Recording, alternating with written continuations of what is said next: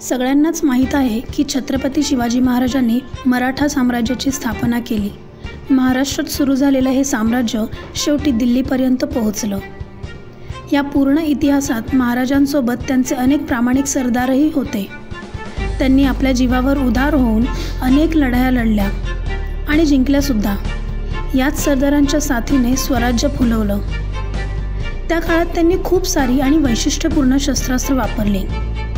पुण्यातील बालगंधर्व रंगमंदिरात अशाच अनेक शस्त्रास्त्रांचं तसेच वस्त्रे लढाईच्या वेळी वापरली जाणारी चिलखतं ताम्रपटे आणि पत्रे यांचे भव्य प्रदर्शन भरले आहे.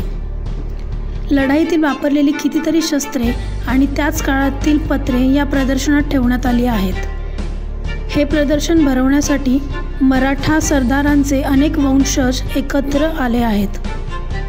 अगदी पानिपतच्या लढाईत वापरलेली शस्त्रे या प्रदर्शनात मांडण्यात आली आहेत.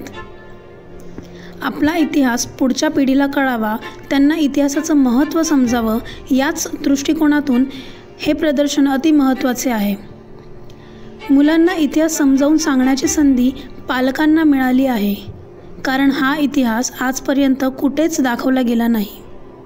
मग वेळ न दवडता तुम्हीही या आणि तुमच्याच डोळ्यांनी मराठ्यांचा इतिहास अनुभवा.